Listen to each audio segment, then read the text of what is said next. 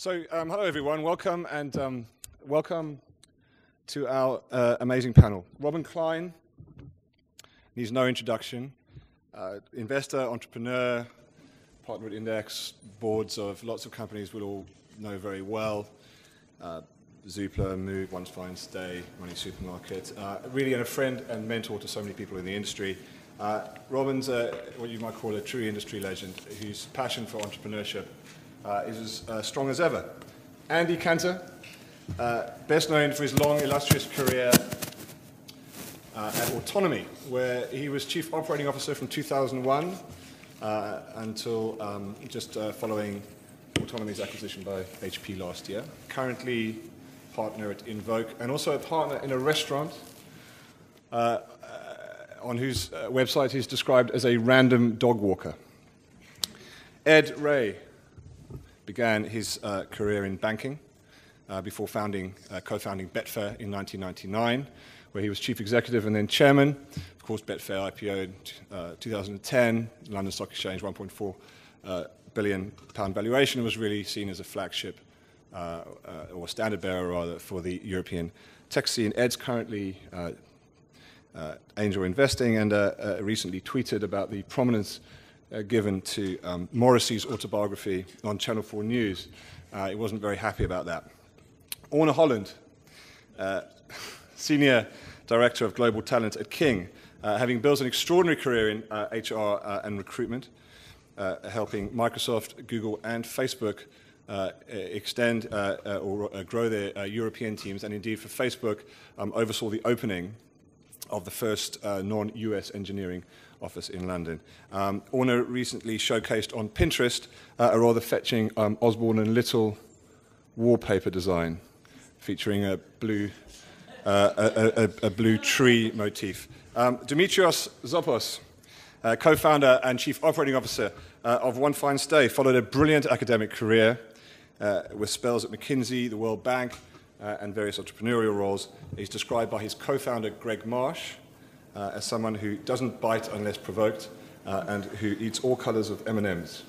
So please join me in welcoming our panel.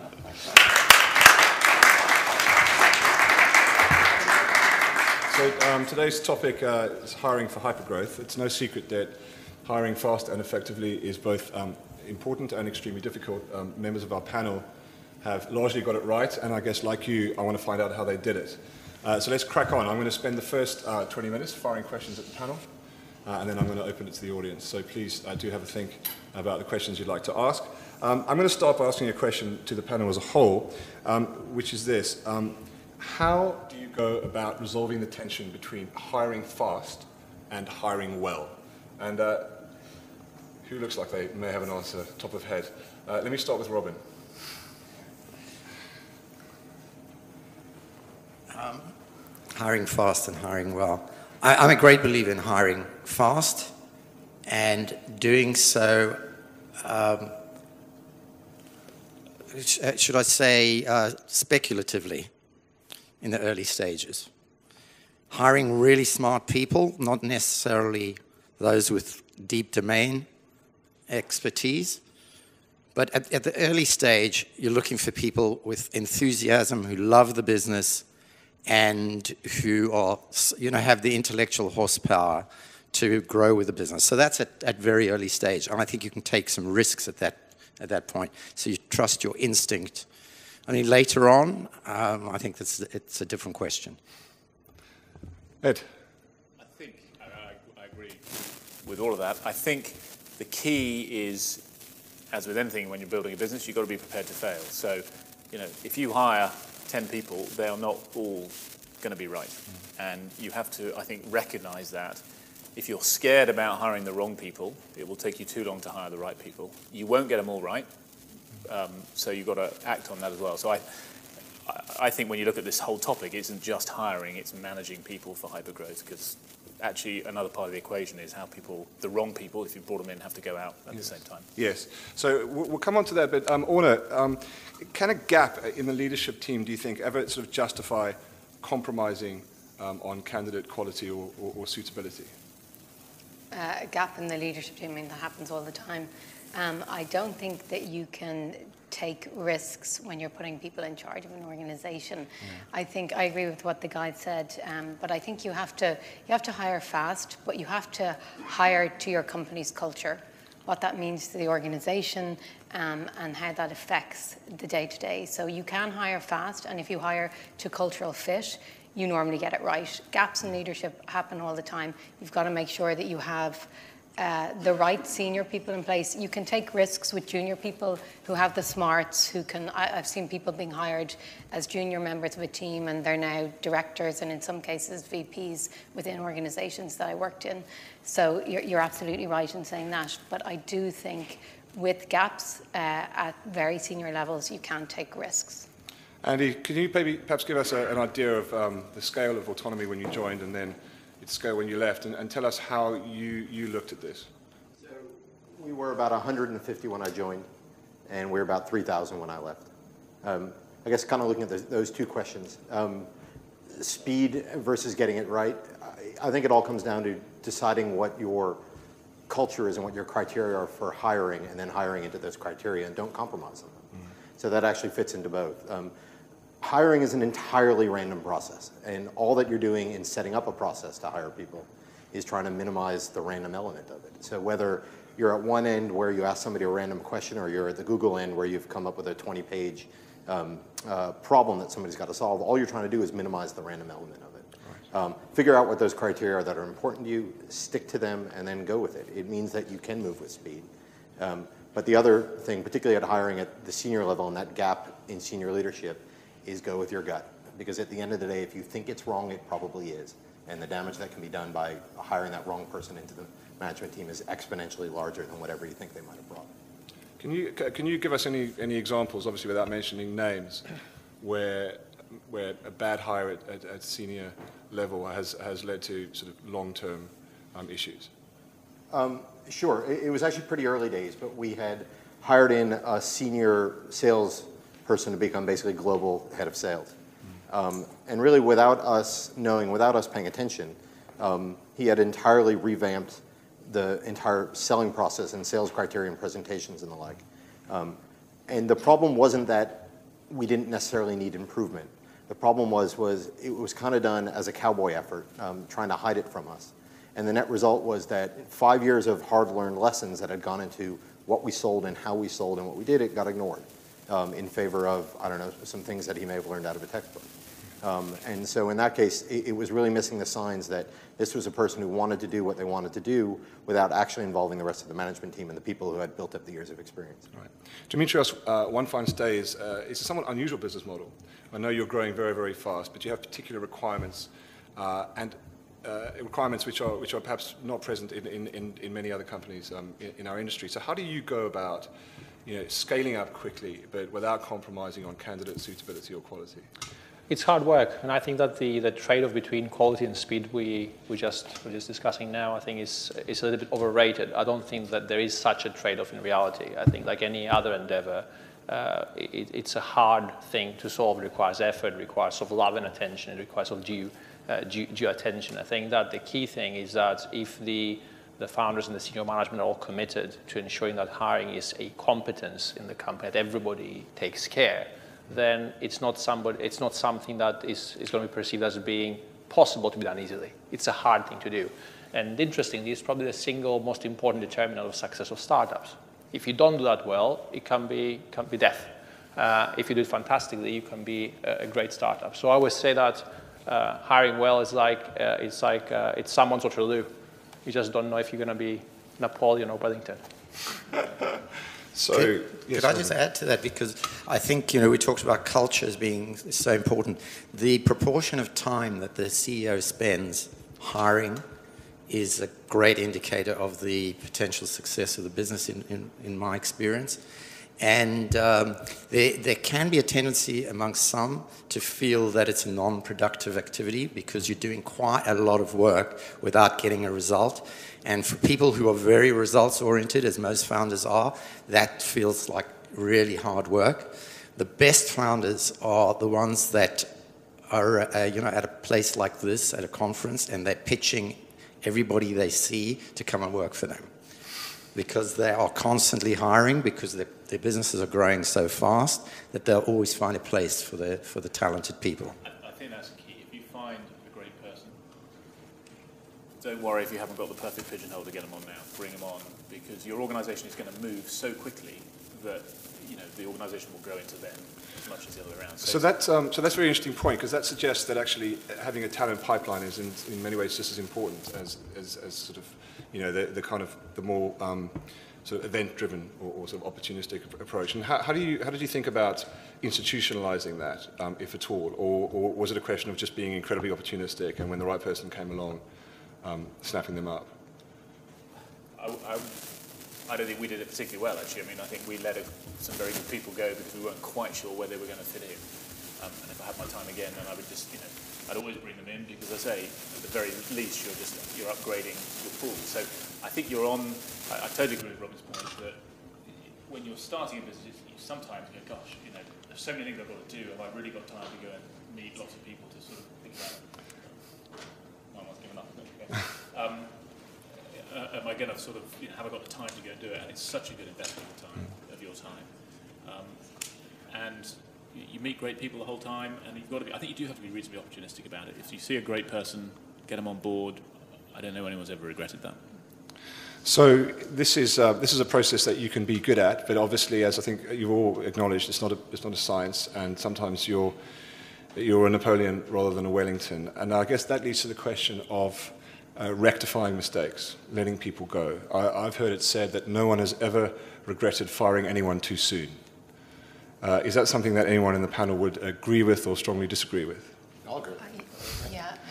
I think when you say, you know, you, you, move fast and you act fast in hiring, you have to act uh, even faster in correcting the mistakes that you make. Um, it sounds pretty aggressive, but uh, it works because when you're in a team and there's one person who's, you know, being unproductive and not bringing anything to that team, you will lose the rest of the team if you don't action that. Uh, a, a, players don't want to work with B or C or D players. So you've got to move even faster when getting people out of the organization that aren't right.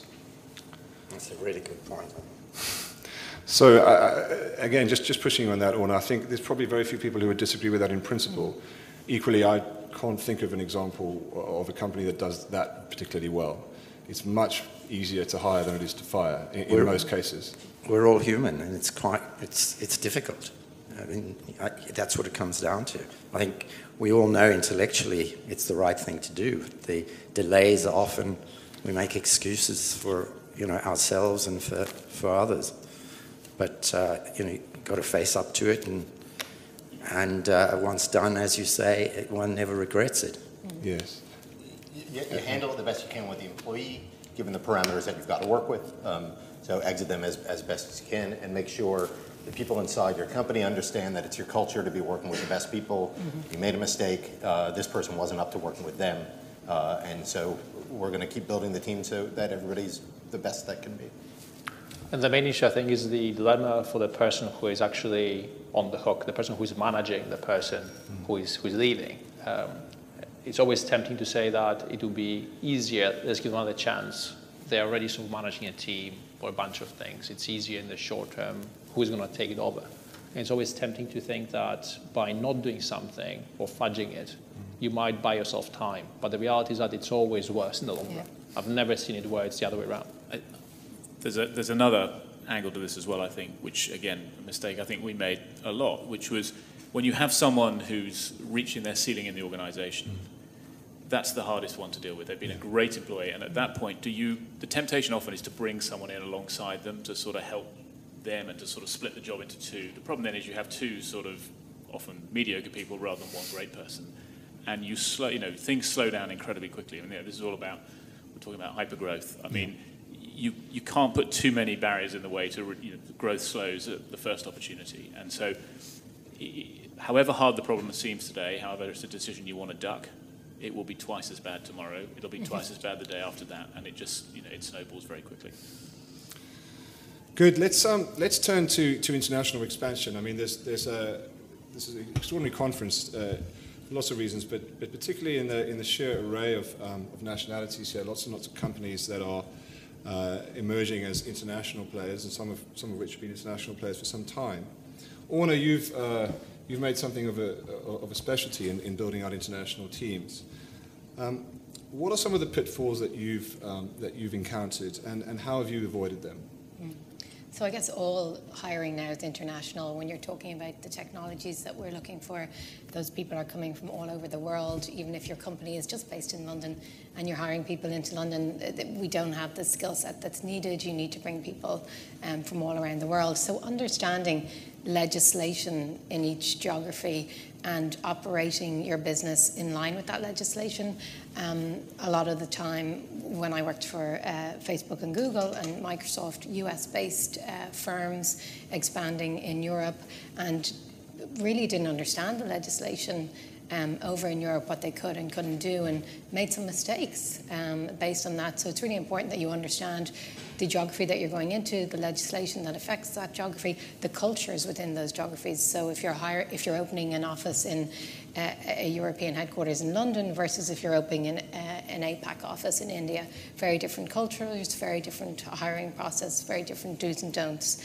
Um, understand the new ways of hiring. So if I was sitting here five years ago, I probably wouldn't talk about Twitter, uh, Facebook, LinkedIn, YouTube. Well, I would have spoken about YouTube. Uh, the different tools that you can use. You've got to stay hot. You've got to stay current with what's going on in the market.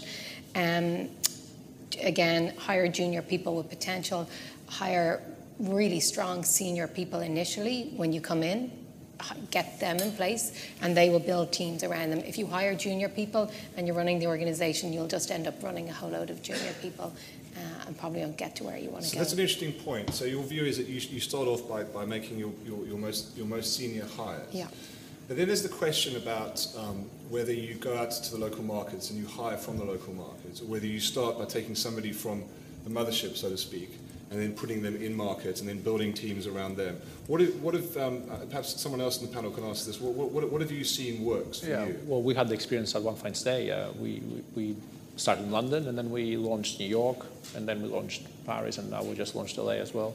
And the experience we had is that we, we have a fairly complex operation that requires a lot of context, a lot of contextual knowledge.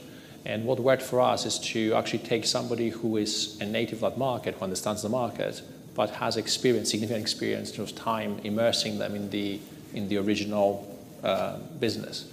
So, for example, we launched New York, had Evan Frank, who runs our US operations. He spent a year basically running the business in London before being shipped out to New York. We did the same thing for, for Paris. We had six months stint uh, in a variety of roles in the operating business in London before sending Kevin out to Paris, and we did the same thing with Los Angeles.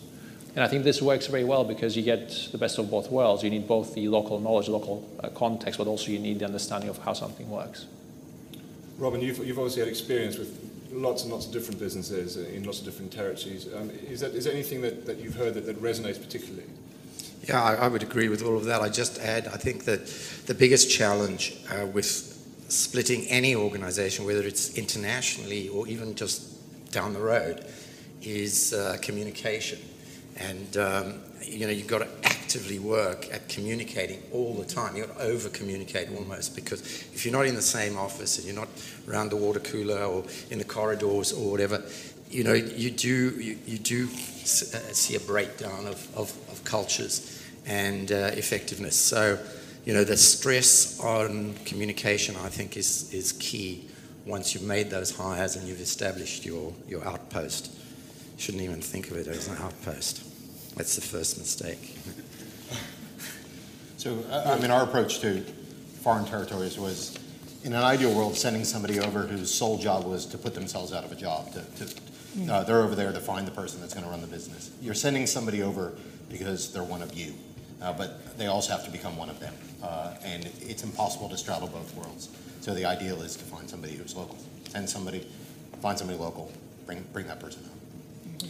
So, um, turning now to uh, the, the, sort of, again, an ongoing question about whether to hire for experience or, or raw talent and, and really what, what sort of combination makes sense for your business and at various phases of your business's uh, growth. I mean, Ed, I guess from the outside, uh, Betfair seems, at least to me, to be the kind of business that really required a combination of sort of industry or domain expertise, but obviously talent, ambition, uh, and all the rest of it. How did you go about striking that balance as you scaled up?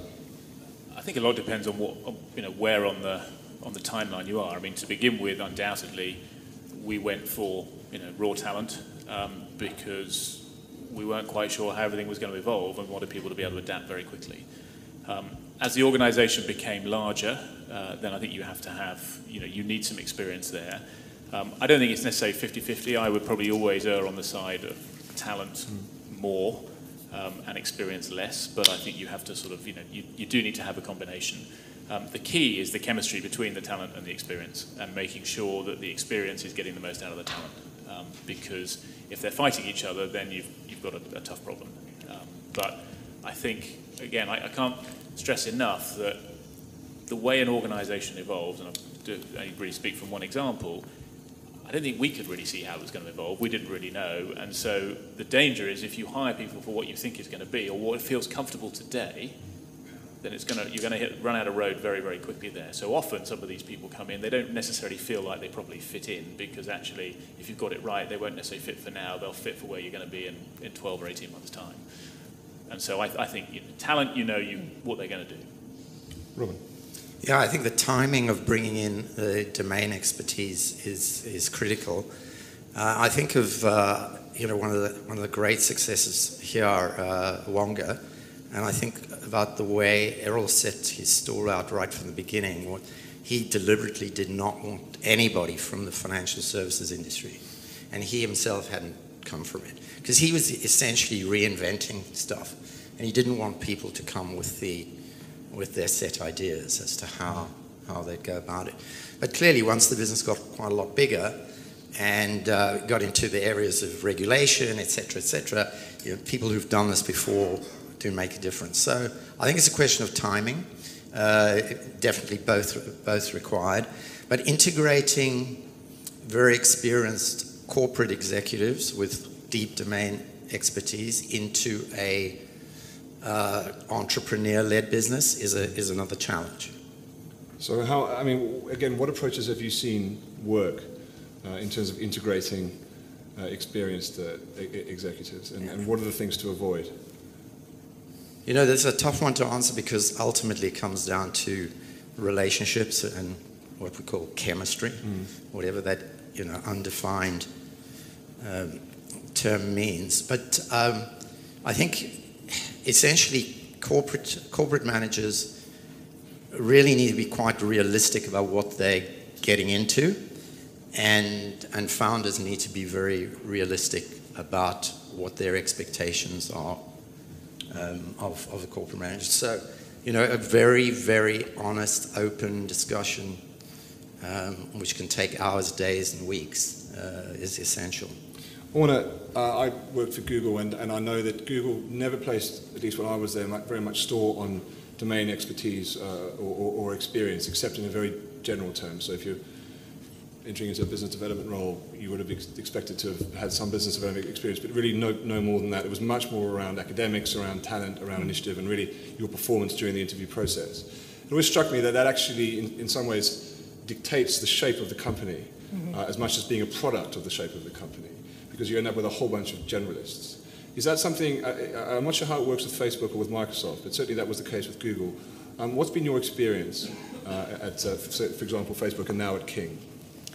Um, and I think Google have changed their, their hiring model. I left there in uh, 2009, so I think it has changed a little bit they're doing kind of uh, scrubs on their data. They're going out into the internet and doing all types of things. But I mean, I respect their business model. Their business model hasn't changed from 2004, where uh, the founders still review every single candidate that gets hired at Google. They review their resume, their academics, um, where they've come from, and if they're a fit for the culture for the organization. And the organization is going from strength to strength. I, I think the share price is over $1,000 at the moment. So they're obviously they, they've done a pretty good job uh, in hiring and setting up the business. Um, they hire they always hired good people. Um, they didn't hire B players. That was the yes. the, the, internal uh, conversation. Um, Facebook and and Google were very similar in that they hired very much people, smart people uh, who fitted with, to the company mission and the culture. Um, and my experience for, with King, and I've been there uh, all of two months, is uh, culture. Culture is king uh, within that organisation.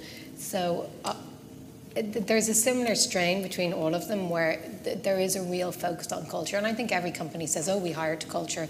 But what does that actually mean? I, I always say to people, well, what questions do you ask uh, around culture? How do you evaluate the, the cultural fit for this organization? What did you ask the person? And sometimes it turns out they say, oh, well, I just didn't want to go to the pub with that guy and have a pint. I'm like, okay, well, that's not really uh, around culture. Um, so you've got to really uh, get people to focus on what the mission of the company is, what the culture of the company is, and how they hire to fit those boxes. Um, I think all companies, all the companies I've worked for, do that, uh, just in different ways. Um, there's a different culture within all of those organizations, but very similar, all very fast paced, uh, high growth, um, at scale, uh, and all approaching it in a very strategic uh, way.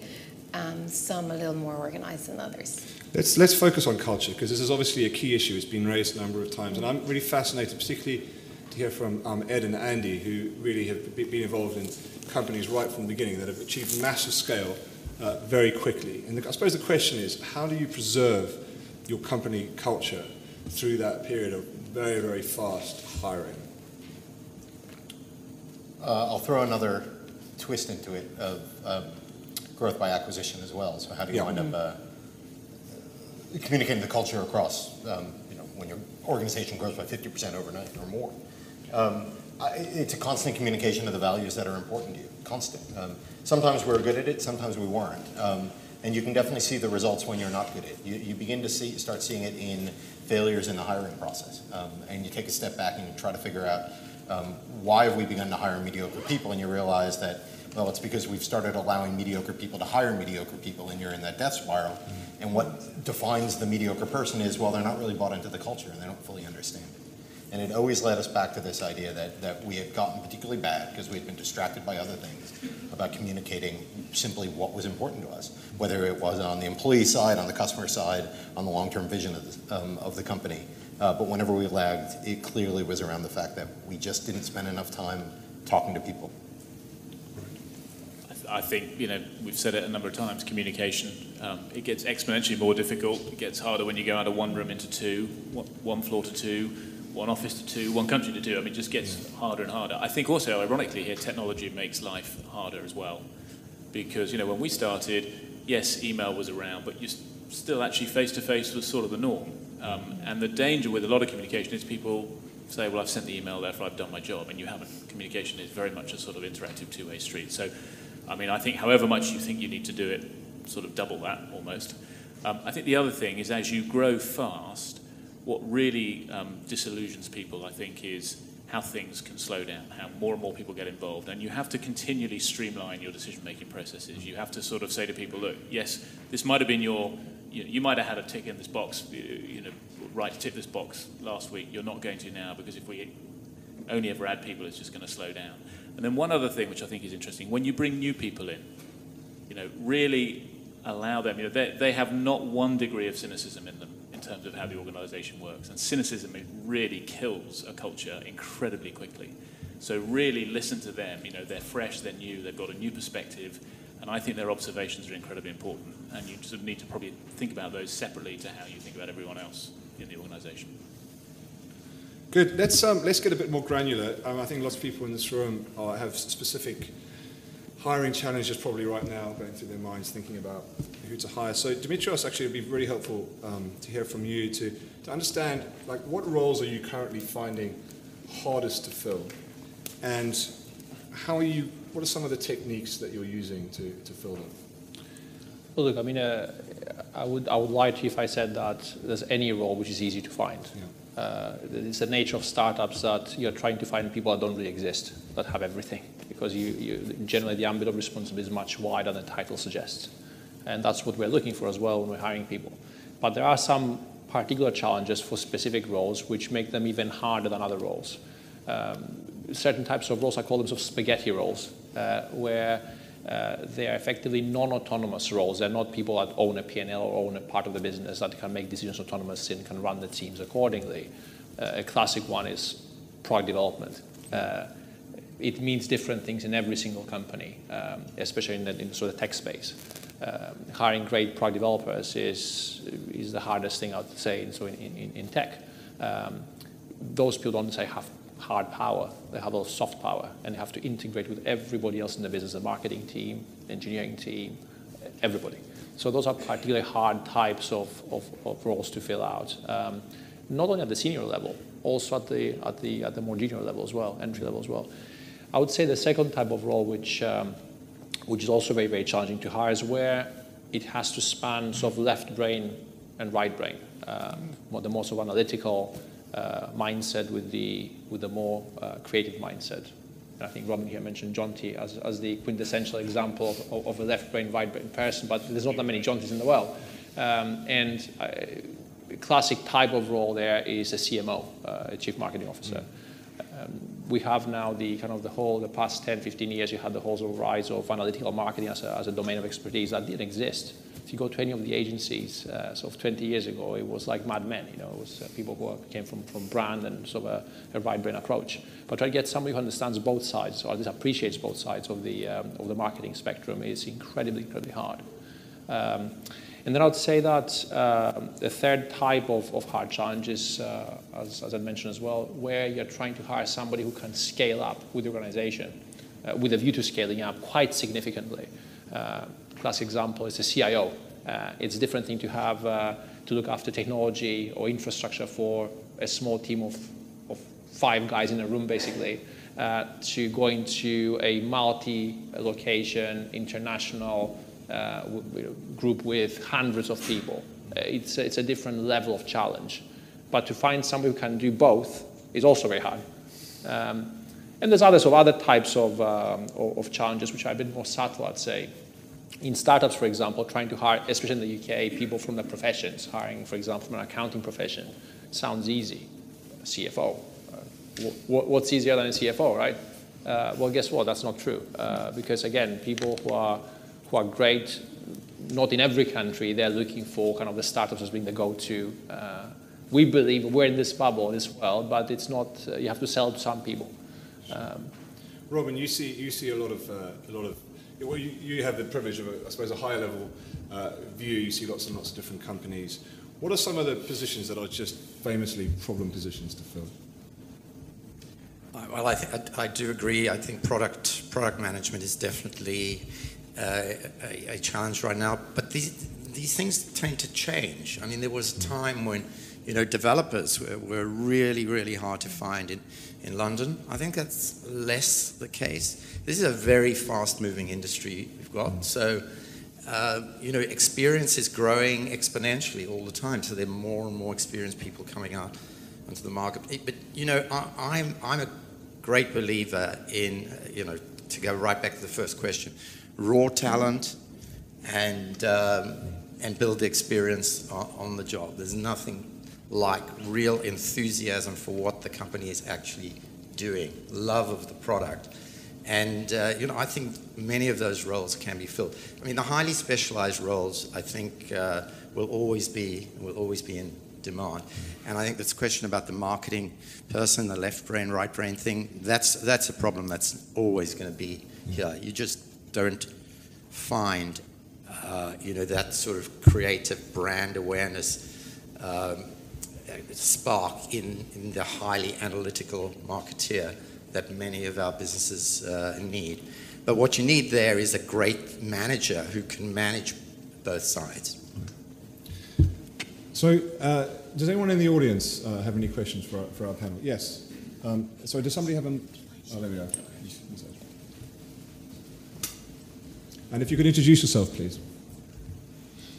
I'm Max Cardillieri from AlphaSights, and I have a question around international recruiting. So if you face a more or less global recruiting challenge in, say, America and in Europe and Asia, um, how would you organize the actual recruiting function? Um, would you have rather junior recruiters locally reporting to the local or regional managers, um, or would you have an integrated global recruiting function with a senior recruiting manager heading it somewhere and then kind of dictating it to the other regions how the more junior people should actually go about it?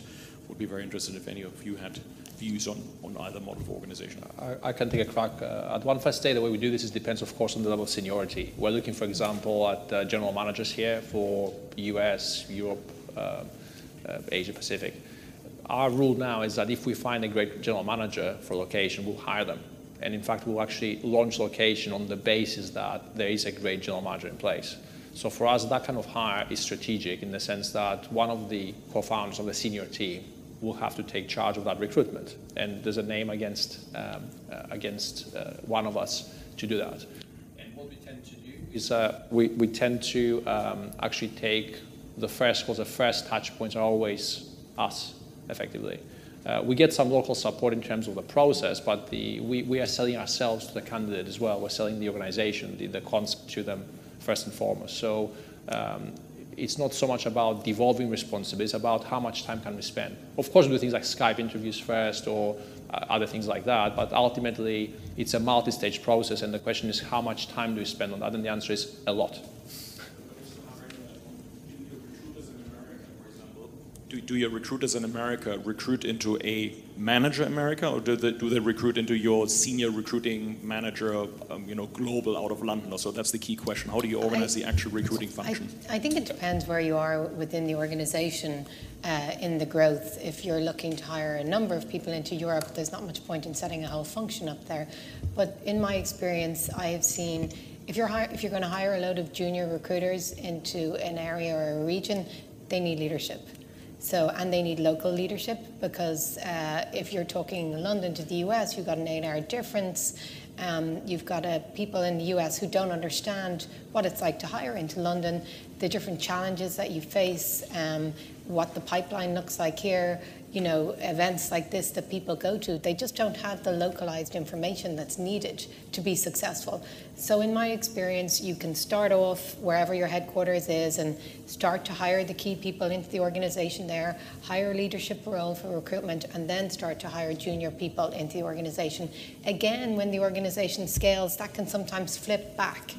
But that, in my experience, I've seen work. You start off at the headquarters, wherever that is, um, you put key people in to your operating business, um, and then you run it locally.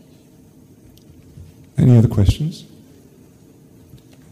Uh, yes, over there. George Caribbean from Judo Payments. Uh, real simple question. Uh, what would be your killer interview question if your entire interview was reduced to a single question. and Robin, I'm really interested in yours. But, uh, but if we have time, everybody. I, I got mine. Mine was simple. Is tell me what you think our company does.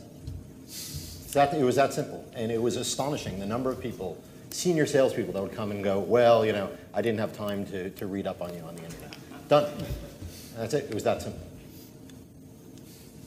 Yeah, I, I, I guess uh, I guess mine, I don't know if it's killer, but the one I often ask is, why do you want to join this company? Which I guess is not that far away uh, from Andy's uh, question. Is, you know, why do you want to join us? So you know, it, it, it forces the answer, tell me about, about the, the business and uh, what you think is great about it. Because coming back to my earlier points, I think enthusiasm for the business that you're going to join is absolutely key genuine enthusiasm, love, love of it, love the product, love the, the customers, love, love the industry, whatever. You, you've got to be passionate. Just on that one, just ask them how much they've used your product. Because amazing how many people will come into an interview, say, I love this business, I think it's great. And then, you know, in our, I'd say, so how long have you had an account? And they go, uh, well, I don't actually have one. Just actions speak louder than words. I have so many questions, but uh, uh, one of the questions that I get a good reaction out of, and, and I've learned a lot from people because they kind of question themselves, I say, Tell me about the biggest mistake you've made in your career to date. Um, they're surprised by it, and it's not even so much the question. Then I say, What learning have you taken from that? So it's really to understand, you know, everybody makes mistakes. It's about the fact that they can admit to the mistake they've made and turn it around and, uh, and how they've learned from that if people can't answer that question for you, you don't want them working mm. with you. There's a question uh, over here. You had. Sorry, do, do, you, do you still have a question? Yes. You do. Uh, my name is Jens. I'm from Klarna. We're currently growing uh, a lot. So, uh, one interesting question for me, maybe you answered some of it already, but uh, you're, you know, speaking about culture and how do you you keep sort of the same culture globally. What is for you the most important value culturally that you look for, and how do you find it in sort of two, three interviews, or how many interviews you know that you do? I could start. I think for, for me and for the business as a whole, I'd say is that drive is the most important thing. Uh, there's no substitute for drive in my view because yeah, you can uh, can somehow acquire down the line. It's a, it's a, it's a personal trait. Hello, and it's uh, it's something you tend to um, uh, to be able to test. It's a testable thing. So the question I ask is that uh, what's what's your biggest failure? Uh, give me a few examples. Give me another example of a failure. what's your biggest flaw? So it's showing, trying to get people to demonstrate to you um, tried many and, and failed. Sorry, Demetrios, do you want to use that? that That's right. So drive is the single most important thing, and it's um, it's something which uh, is very very hard to to acquire subsequent. We have other values as well. We're looking for uh, three or four different things, but drive for me is, uh, is the number one.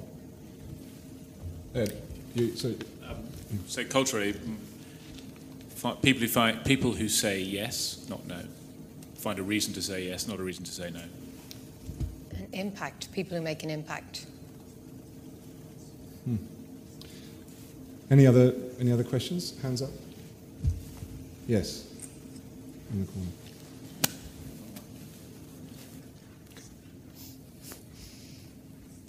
Thank you. Pete Alexander from the Up Group. Um, we've talked a bit about strategic hires and um, specialist hires, like a CTO, for example, where the person, right person today might not be the right person in two years' time. Um, given the comments around culture and hiring for talent and what have you, have you ever made a hire with the knowledge that that person might not be within the business in two years' time? So, or would you always hire for a, a more talented person with potential? Anybody want to have a crack at that? The answer is, is yes. Uh, our, our, first few hires were almost invariably in that box. Uh, whether you, you actually plan for them not to be in the business or not is probably not, not, the, uh, not the right approach, but um, the odds of someone making it in the first two years in a startup are very low regardless of whether you intend to or not. Mm-hmm. So uh, in our case, yeah, we have uh, plenty of hires who we thought may not necessarily scale, but the intention, our intention is to always find people, especially early on, that will scale the business. And that's why you have to go for the smarts and the drive and the, uh, I would say, the generic quality as opposed to specific experience. I always hire, uh, I would say, general qualities, four general qualities. I look out for those uh, at the expense of uh, specific experience. Uh, does anyone else uh, anyone else want to want to answer that? Let me let, let me. So, are there, are, there, any other questions? Um, there's a. Oh, we have a follow up.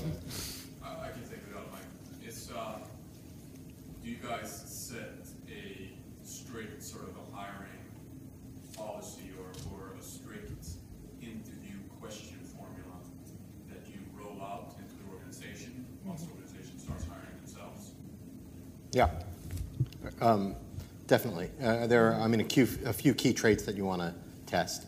Um, one of them is reaction to the random, um, uh, which is seeing the reaction is more important than the answer.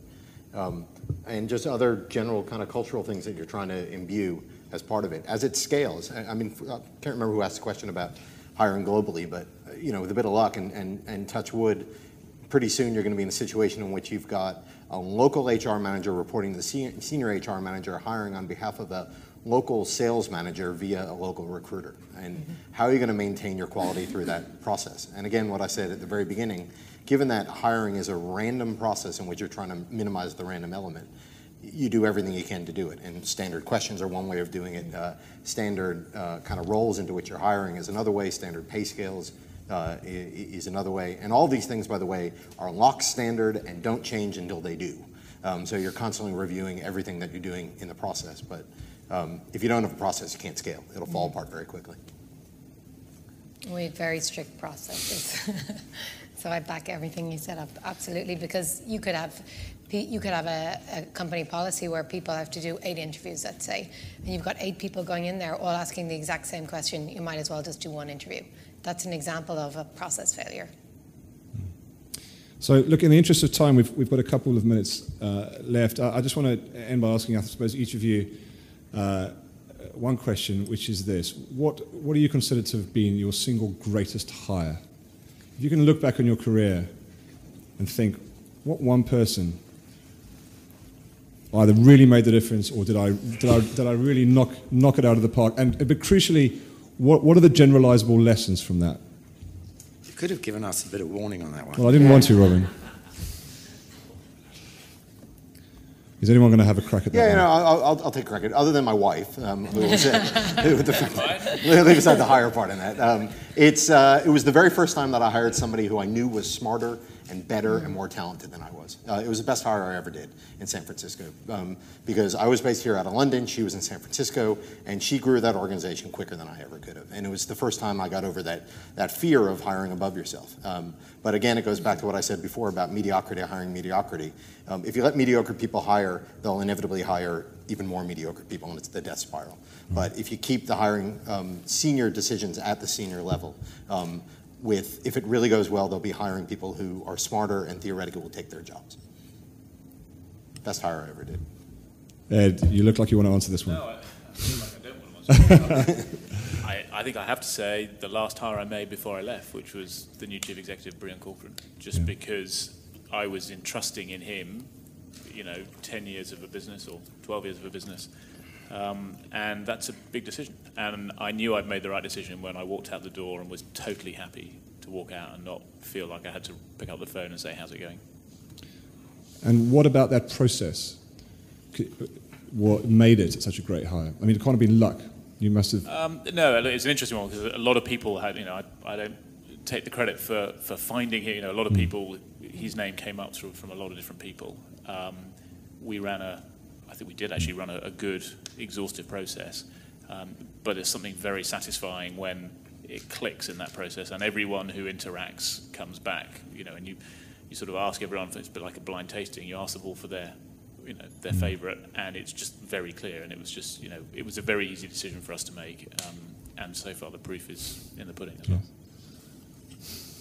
Okay, well, I, I haven't hired uh, many people in the last 15 years, so uh, what can I adapt the question to yes, say, you, uh, you know, yes, which is the best sort of entrepreneur that I backed? And this is normally a very, very tough question because I love them all, and and and they really, and there are a lot of very great ones. But I have to say that uh, Errol Damelin is a standout uh, entrepreneur um, who um, I kind of knew almost immediately that he was uh, he was going to build a very big, successful business. Although it took us nine months before we were both happy that uh, we would uh, proceed. What were the two or three qualities that you saw in him?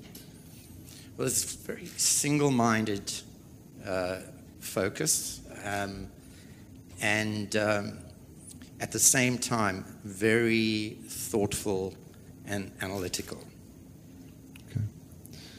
Orna, are you going to have a crack at this question? Uh, I mean, I, have hired hundreds of people, uh, so I can't. I, I think the, the, the biggest hire for me was when I uh, was going on maternity leave. I hired somebody to replace me to do my job, and I did such an excellent job that I uh, basically didn't have a job when I came back, which was a, a, a, funny situation. But it actually uh, led me to my next role. Um, within the organization, I didn't leave the organization. I went down a, a different path which was you know an amazing experience for me. And again, to your point, it's it's around hiring somebody who is better than you, who you know it it, it doesn't come naturally to people, um, but it's the best hire you'll ever make. Somebody that you want to work for. Somebody you want to work for. Demetrios, would you subscribe to that? Uh, definitely. Uh, I always try to hire people who are better than me in all respects if I can. And um, I think I, I, can name names. Uh, Evan, Glenn, Katie. I mean, there, will be people in the business at the moment who are going to be future leaders, not just in our business, but they'll probably go off and start their own businesses. They'll be very, very successful entrepreneurs in them, themselves. We try to hire other entrepreneurs. Great. Great. Well, look, thank you so much. Please join me in thanking our amazing panel.